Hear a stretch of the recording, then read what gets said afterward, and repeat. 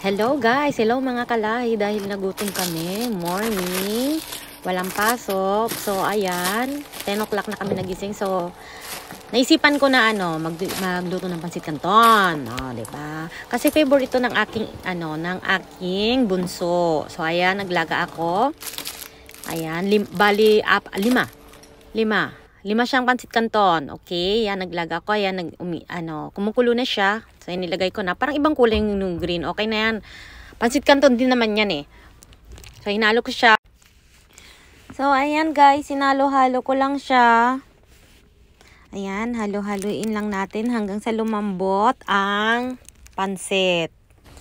Ayan, actually hindi pa alam ng anak ko na ito yung pagkain namin, no. Pero pag nakita na siya, wow, tatalon yun ng napaka, ano, Favorite niya kasi to eh. Kaya, ito yung nanda tsaka tsaka gusto ko din ng kumain. So, ayan, kumuha ko ng ano, i tanggalin na natin ang tubig. Ayan, salain natin para matanggal yung tubig. Okay.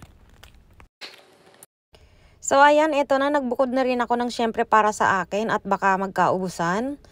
Ayan, hinaluan ko rin siya. Sinabayan ko rin siya ng kape. At alam nyo ba guys, nag-isip ako, parang gusto kong kumain ng pandesal. Kaya nang ginawa ko, hindi siya pandesal ha. Inisip ko na lang na pandesal siya. Ayan. So, ayan, nandaan ko na yung anak ko. At eto na siya. Ayan. O, oh, tuwan-tuwa siya, ba diba? Mmm, happy-happy siya. Magtatagalog. Masarap? Masarap. Oh, di ba? Nagtagalog pang bakekang ko. Masarap daw siya. Alam nyo guys, ang tawag niya kasi dyan is Philippine Yakisoba daw yan. Philippine Yakisoba. Pag sinabi niya ng Philippine Yakisoba, nag-request, nag-request na yan sa akin. Yan alam ko na yan. Ayan na yung lulutuin ko. Yan. Tantoa, o, oh, diba? Sabi ko, i-feel niya na din na pandesal yan.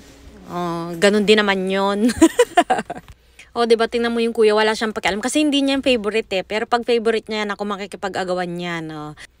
Iba, magkaiba kasi sila, sila ng favorite ano Philippine food. Ayan sinpon nilagyan. Binigyan ko po siya ng tissue dahil nag nag ano na yung sipon niya.